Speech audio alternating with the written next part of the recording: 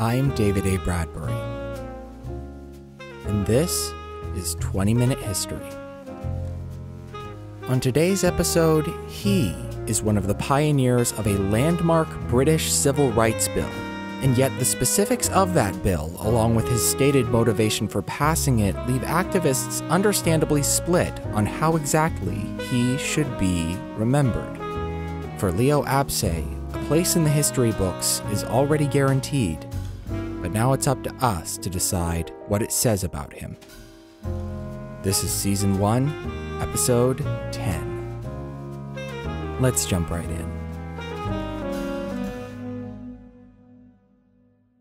The Criminal Law Amendment Act of 1885 became British law when it gained royal assent on the 14th of August. Its primary goal was to alter certain existing legislations pertaining to sexual offenses, and it arguably contained a few laudable provisions, including one which raised the age of consent from 13 to 16, and others which guaranteed stronger protections against sex crimes for women and girls. But today, these clauses are largely overshadowed by the Act's infamous Section 11, also informally referred to as the Labouchere Amendment. The controversial passage proclaims in part, quote, any male person who, in public or private, commits any act of gross indecency with another male person shall be guilty of a misdemeanor. The terms here may be fairly vague, from them, I'm sure you can nonetheless surmise that its purpose was to outlaw homosexual actions between men. At a cursory glance, you might regard this ordinance as nothing new in the history of English sexual regulations, and in a way, you would be correct. After all, an Act of Parliament all the way back in 1533 guaranteed the death penalty for anyone who committed sodomy, or, as the letter of the law called it, quote, the detestable and abominable vice of buggery. No, I am not making that up. That is actually what they used to call it. Furthermore, this punishment would remain in place for more than 300 years until the Offenses Against the Person Act of 1861 downgraded that sentence to life imprisonment. An improvement, though not by much. So, why pay specific attention to the Labouchere Amendment if it's just a seemingly milder entry in a centuries old series? Well, because it's not actually as mild as it seems. The devil's in the details here, and specifically in the key difference between buggery and gross indecency. The punishment for sodomy may have been significantly harsher in theory, but in practice, a successful conviction required courts to prove that the subject had been penetrated. This ensured that, for the most part, prosecutions were fairly rare.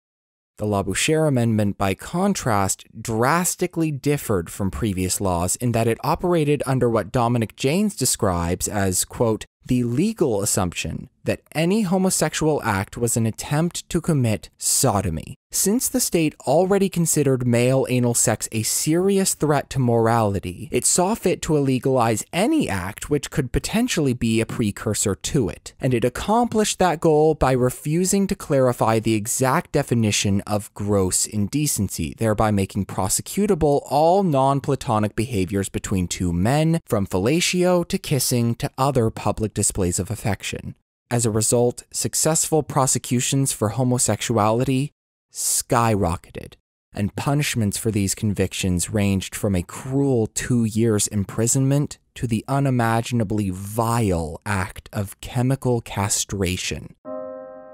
Over the years, the British government turned countless men into examples of how a charge of gross indecency could ruin their lives.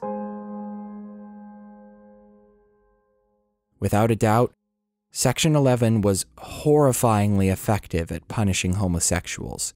But that wasn't actually its only purpose. It also aimed to prevent its spread, particularly to what society viewed as impressionable or corruptible young men. And in that respect, it failed miserably. I mean, of course it did. The fact that you can't just stop people from being gay by regulating them shouldn't be news to anyone listening, nor is it surprising, I'm sure, to hear that the Labouchere Amendment really only succeeded in the sense that it created a culture of terror, with gay men constantly afraid that the arrests and police raids would soon come after them. But in spite of this reality, British lawmakers remained unmoved for a number of years, unable for whatever reason to admit the law wasn't working as intended. Perhaps they thought that only society's lowest, most depraved, most immoral individuals were at risk of feeling the law's wrath, and furthermore, that it was successfully deterring decent people from engaging in homosexual behaviors. Now, if this was their justification, then it likely began to crumble during the early 50s as some of Britain's most respectable men were forced into gross indecency trials, including the now famously tragic case of mathematician Alan Turing. And when the amendment took a swing at one of their own, their rationalizations shattered completely. Lord Montagu of Beaulieu, a prominent legislator in the House of Lords, was found guilty of gross indecency in 1954. And though this wasn't necessarily enough to shake most people's conviction that homosexuality was a serious problem, it was enough to make government officials at least consider the idea that the law was inadequate.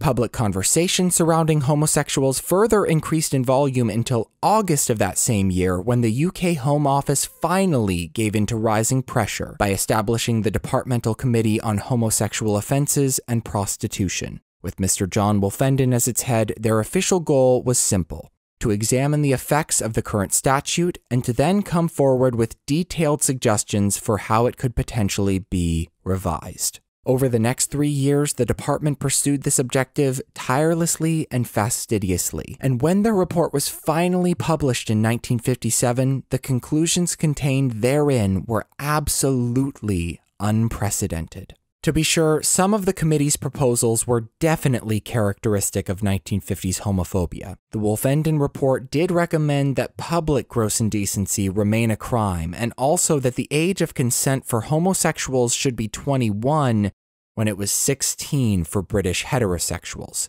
However, the committee's most consequential advice concerned those homosexual acts which occurred in private, the summary for which read, and I quote, Unless a deliberate attempt is to be made by society to equate the sphere of crime with that of sin, there must remain a realm of private morality and immorality which is not the law's business.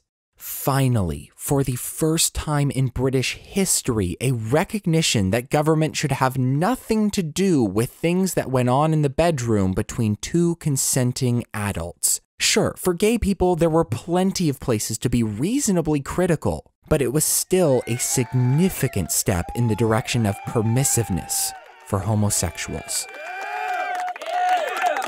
Or so you might think. In reality, Wolfenden was less the beginning of a new era of gay liberation and more, to borrow the words of a contemporary MP, a quote, staging post, quote, which preceded an intense parliamentary battle just to secure that basic level of protection and respect. Indeed, as that same MP would recall in an interview, quote, when I entered the Commons after Wolfenden, the vote against it was overwhelming. That MP, in case you were wondering, was none other than the up and comer of the late 1950s Labour Party, Leopold Abse. In his childhood, Abse exhibited many characteristics which would later contribute to his reputation as a fiery, flamboyant, backbench politician. Growing up in Cardiff in the early 1920s, he had developed a fascination with public speaking by the age of six. He also inherited a very liberal worldview from his family, and in a curious incident of foreshadowing, he would become completely obsessed by the theories of Sigmund Freud, specifically those views concerning the natural state of human sexuality. As Abse would later recollect, he had, quote, been taught by Freud that men and women are bisexual, Moving swiftly through his early adulthood, Abse joined Cardiff's Labour Party in 1934, then served on the city's council for several years, then joined the Royal Air Force for the duration of World War II, and finally founded his own private legal firm in 1951. But all of this was, in many ways, nothing more than a precursor to the most significant chapter in Abse's life, his parliamentary career, which began with his election to become the Labour MP of Pontypool in 1958 and with debates over the Wolfenden recommendations still fresh on the House's mind, it is only natural that homosexual law reform would be the first major cause Abse would come to champion. Now, I should really pause here for a moment to clarify that I'm in no way saying that passing the Sexual Offences Act was mostly or at all a one man effort, nor was it largely just the effort of Parliament. In actuality, what transpired after the publication of the report was a 10 year war that consumed the energies of numerous different parties. Take, for an example, the Homosexual Law Reform Society, or HLRS, which worked behind the scenes throughout this entire decade and was absolutely instrumental in pressuring and advising lawmakers as well as in holding public meetings to advance the cause of gay acceptance. And to its credit, it made great strides in the latter department. Public opinion started to change such that even though many folks still believed being gay was immoral, they nonetheless also believed that it should not be illegal. On the other hand, progress gained by their efforts on the legislative end was sadly limited as debates on the matter in 1958, 1960, and 1962 were all met with harsh backlash that killed the bills before they could even get started. Looking at this succession of failures, campaigners knew that they had a rough road ahead of them. But then in 1964, they witnessed a small glimmer of hope. For Parliament, it was out with the old, in with the new with the reform minded Labour Party securing a marginal victory. Encouraged, the HLRS, along with similar organizations, geared up for the fight of their lives, revamping their information campaigns and strengthening their alliances in government. And this time, their endeavors in Parliament were paying off. More and more MPs were expressing support for reform, and there were even a few bold men and women that were beginning to stand up, ready to prove themselves capable of leading the charge. Leo Abse was determined to be one of them. We'll be right back.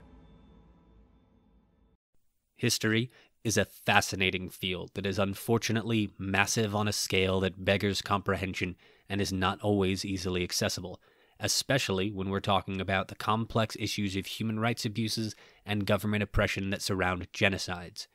Here at Genostory, we agreed to do this. We aim to change that.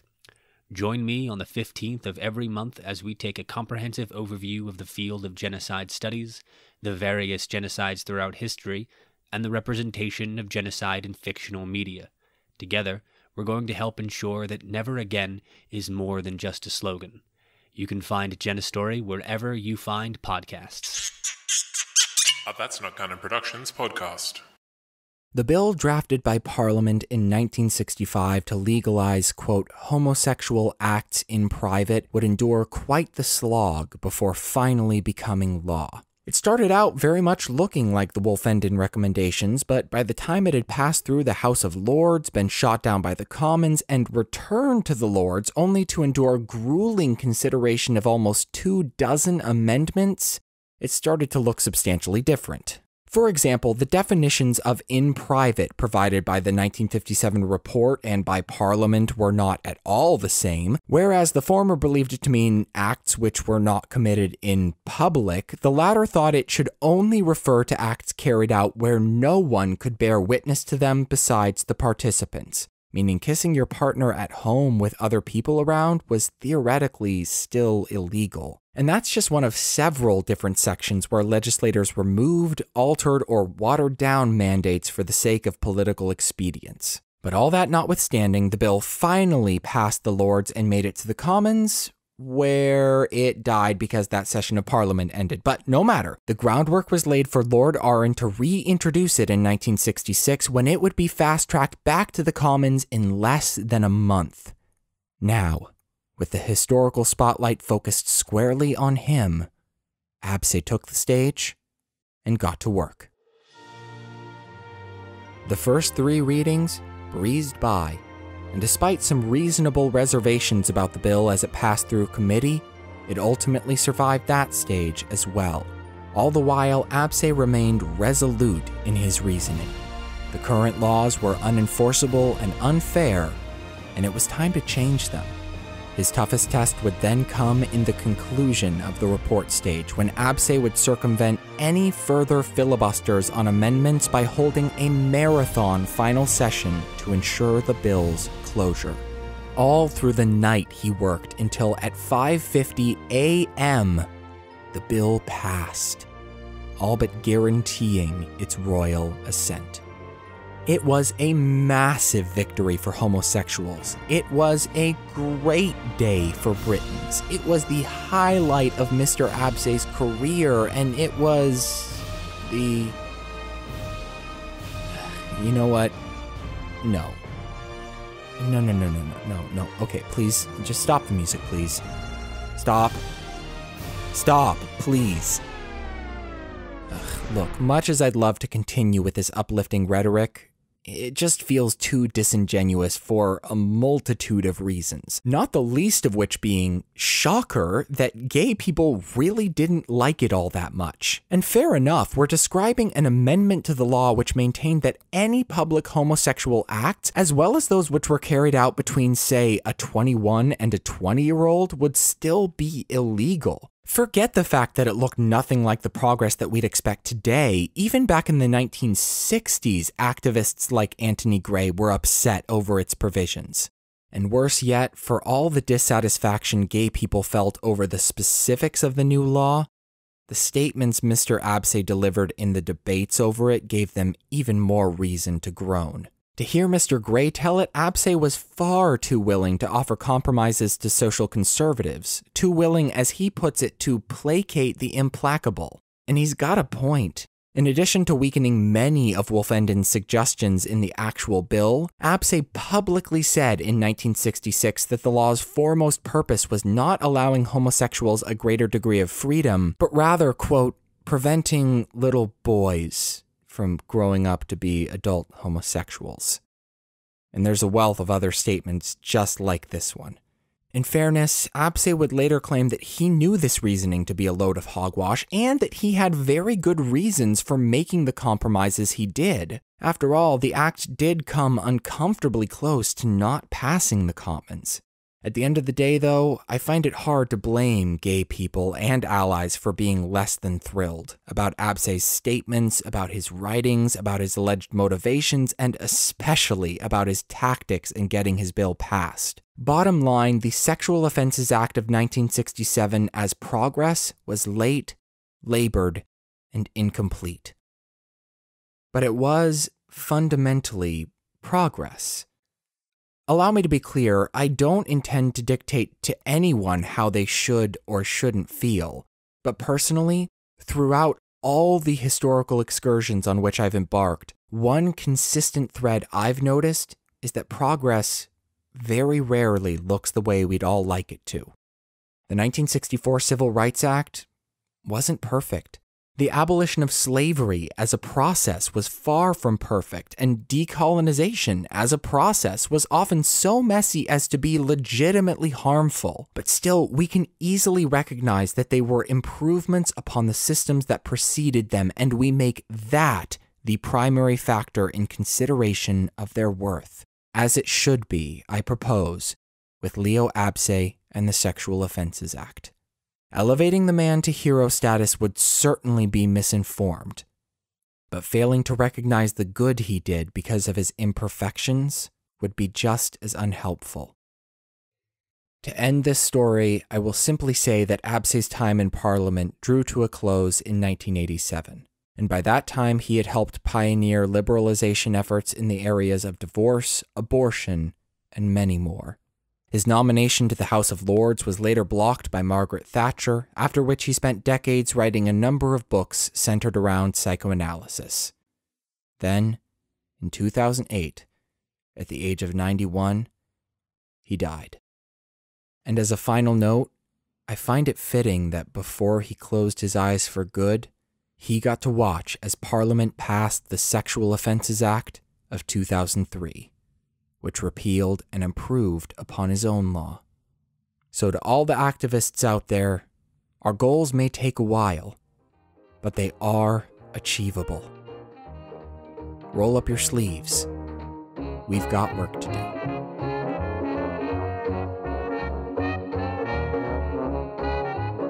Thank you so much for listening to this episode and this season of 20 Minute History. As always, if you liked it, then please consider subscribing to the podcast, leaving a rating, and following us on Facebook, Twitter, and Instagram at 20MIN History.